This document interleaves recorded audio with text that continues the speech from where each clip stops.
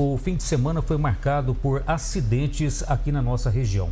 Na madrugada de sábado, uma colisão entre uma motocicleta e um carro na rodovia MG 050 em Piuí resultou em uma vítima fatal e outra gravemente ferida.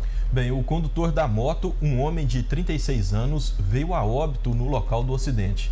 Já o motorista do carro foi encontrado desorientado e ferido.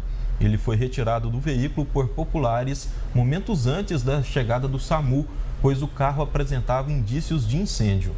Ainda não se sabe a dinâmica do acidente, mas de acordo com a polícia militar, o carro se encontrava na contramão de direção, no sentido Capitólio-Piuí enquanto a moto estava no sentido oposto, de Piuí a Capitólio. Bem, segundo a polícia, quando as equipes da Polícia Militar e do Corpo de Bombeiros chegaram no local, o veículo já estava em chamas. O condutor foi socorrido pelo SAMU e encaminhado para a Santa Casa de Piuí para receber tratamento médico. Após o controle de incêndio pelos bombeiros, foi realizado o serviço de rescaldo para garantir a segurança da área. Agora, as autoridades aguardam o laudo pericial para fornecer mais informações sobre as circunstâncias precisas da ocorrência. O condutor da motocicleta era natural de Capitólio e foi sepultado nesse domingo.